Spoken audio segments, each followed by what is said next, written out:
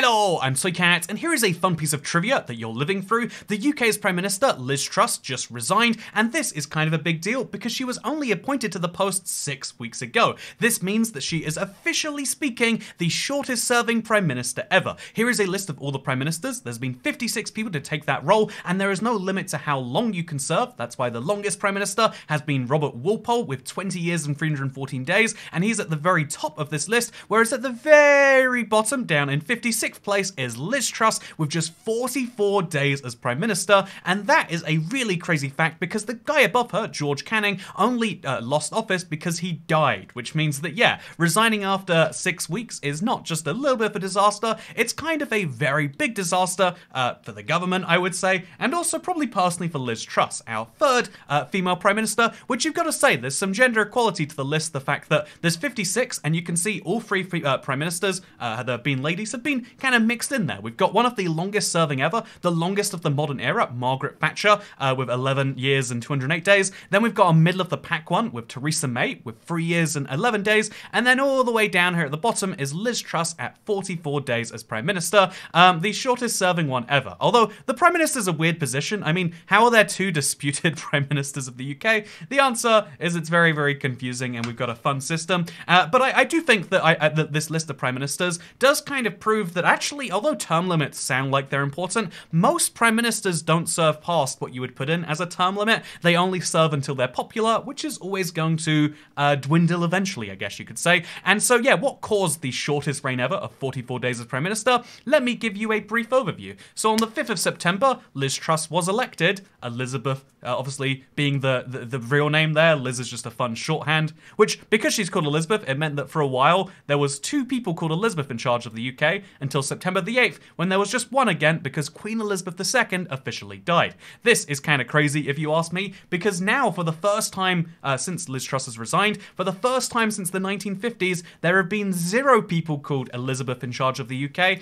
and uh, yeah, that's kind of a crazy fact by itself. But it's also crazy that just uh, two weeks into her uh, prime ministerial uh, thing, she decided to capitalize and just say, okay, every single prime minister, when they get elected, they have pledges. Let's just do all those pledges. Let's cut all the tax and let's do all the things that people have been telling us to do. And so the Chancellor, uh, Kwasi Kwarteng, said, yeah, let's cut all these taxes. But rather than doing the logical thing, when you say, we're going to cut taxes, we're going to cut our spending to match our new revenues because obviously we're going to have less of it, they said, nah, we're just going to magically grow and it's all going to it's all going to work out. Don't worry about it, man. And so the market did not like this. And on the 26th of September, the pound hit an all-time low against the dollar. To show you this uh, real quick, uh, it, it, looks pretty, it looks kind of bad on a short-term graph, but if I show you this on a five-year graph, you can see the pound had just about stabilized to 1.4. It was dipping this year to 1.2 because the, the uh, you know, the, the, the dollar is at a very strong time in history. Interest rates are very high in the US, etc., etc. Uh, but it dipped to an all-time low this week,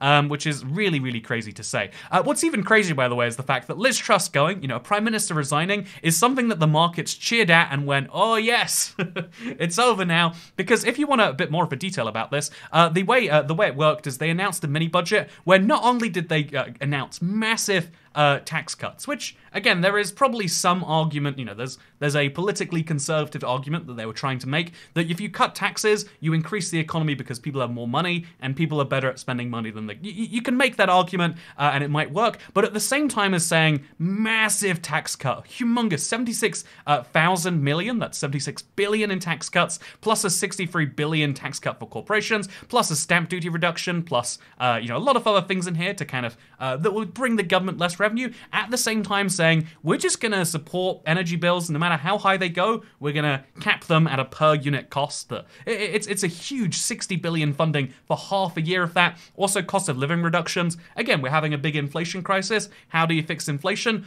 Borrow, make money out of nowhere and give it to people. That, that's how it works. It's really good. That's So if you look at the whole thing, it's like, well, they didn't announce any spending cuts. They just said, let's rise spending and cut taxes and see how that goes. And you know how that went? Well, according to the markets, not very well. The UK's borrowing costs went from 1%, which is like, you know, pretty good uh, price to pay, 2% over this year, because again, like interest rates been rising everywhere, to 4.48%. So there was this massive increase. Huge, like seriously, 76 billion is just one of the measures, but massive increases in pledged spending and pledged debt, while also saying that at the same time, the cost of that debt would be ridiculous. So, in other words, uh, things had to be stepped up, and the ch- Chancellor of the Exchequer was actually fired. That's right, Liz Truss was in power for 42 days, but her Prime Minister had to resign. On the 14th of October, he was replaced with Jeremy Hunt, which means that although the Prime Minister is kind of crazy, we've had uh, four Prime Ministers since 2010. Uh, we had uh, D- David Cameron, then uh, Boris Johnson, sorry, Theresa May, then Boris Johnson, now Liz Truss.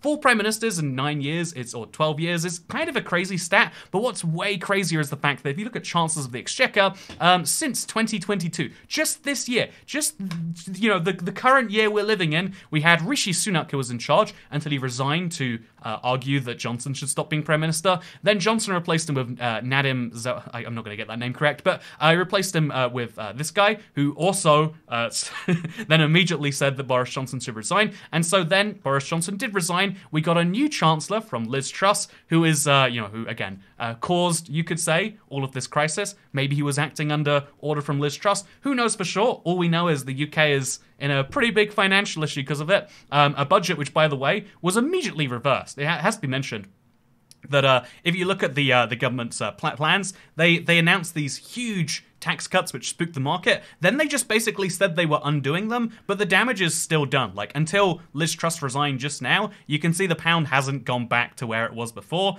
Uh, the pound is kind of like, uh, and again, like it's just kind of stayed roughly flat, a little bit below where it was before, which is kind of staggering to say that the markets were just like, well, we can't trust you anymore, and so the hope is that they can trust them now. But that still means that Jeremy Hunt, who will be the prime minister, uh, sorry, he'll be the chancellor of the exchequer, will likely be replaced by whoever becomes the next prime minister. Which means that the uh, so the chancellor is the second most powerful position in the UK. It's like a um, it's like a vice president if instead of just deciding, uh, you know, doing vote ties in the Senate and uh, being popular with a different demographic to the president, it's like a, you know the, the chancellor is actually in charge of the money, in, in theory at least. Obviously, he serves the prime minister, so it's vice president in that way. Uh, but yeah, you get the point that having four in one year is crazy. We're about to have our fifth unless the next prime minister picks Jeremy Hunt as their uh, you know, chancellor. Which it's worth mentioning, he could run for prime minister himself, making it physically impossible for him to be chancellor. I think that's true, at least. I, I don't think there's ever been a prime minister that's been their own chancellor, but maybe I'm wrong about that. Anyway, speaking of things I might be wrong about, because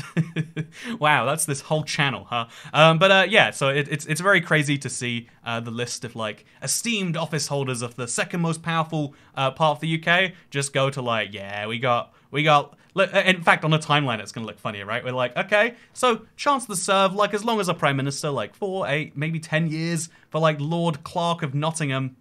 The Lord Clerk of Nottingham is that is that uh who who the heck is what sort of a name is that? I I, I really want to know that. Uh, okay, uh, that must be Gordon Brown.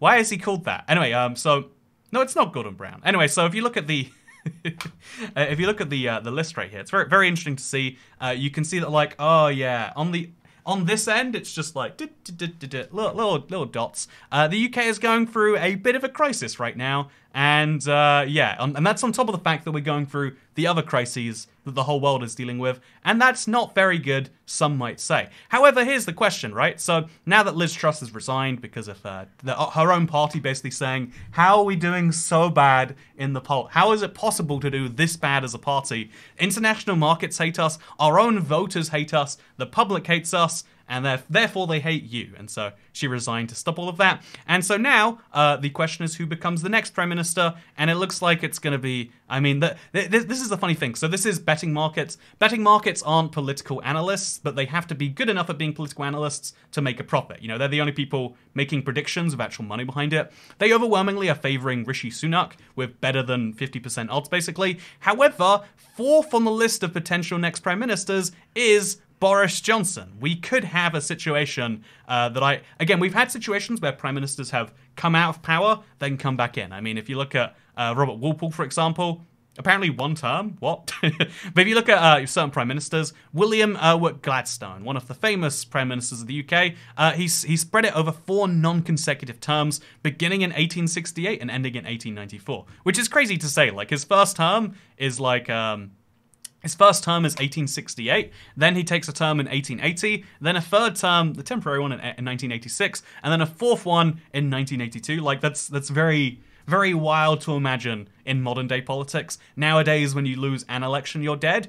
Um, but here's the thing, right? Boris Johnson did not lose an election. Uh, if you if you if you if you want to dive into this one, so he's the 32nd longest serving prime minister. He did he he in fact he won an election in 2019. I want to say uh, it was right. So he won an election and then he lost because of you know uh, partying during COVID and all the other uh, things about it. And so, uh, as a result, some might argue, well, I mean, that's not the death of a potential prime minister. And so that we might have the weird case where a prime minister was ousted, and then six weeks later, because uh, Liz Truss confirmed that the next prime minister is coming in a week, uh, or next week, in the next week. So I guess that's potentially up to eight days. But in eight days, uh, potentially it's it's not likely. Well, it's not the most likely. It's like the fourth most likely event, I guess you could say, based on betting odds. There is a chance that we end up with the weird situation of a prime minister who was ousted for seven or eight weeks and then came right back.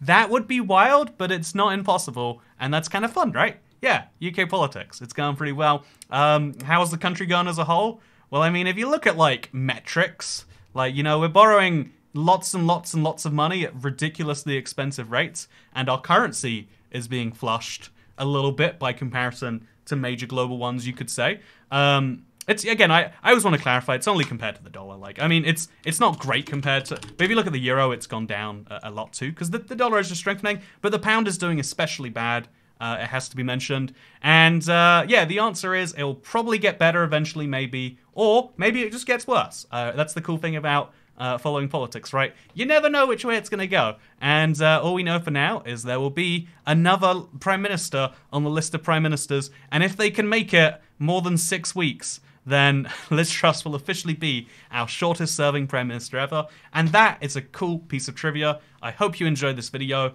If you want to give me money for it, go to patreon.com slash toycat and uh, you can do that. I actually uploaded a video just before this happened, so, you know, I'm just saying, two videos in one day, wow, I spoil you, don't I? Um, but yeah, there's there's more shorts coming as well. I, I, I like the balance of, like, shorts and regular videos we have on the channel right now. I hope you do too, because it's going to be happening regardless. And yeah, I'll I'll let you know who becomes, I won't let you know who becomes Prime Minister. You'll hear about it somewhere ever, and uh, have a good day, because I don't really care if you do, actually. Goodbye.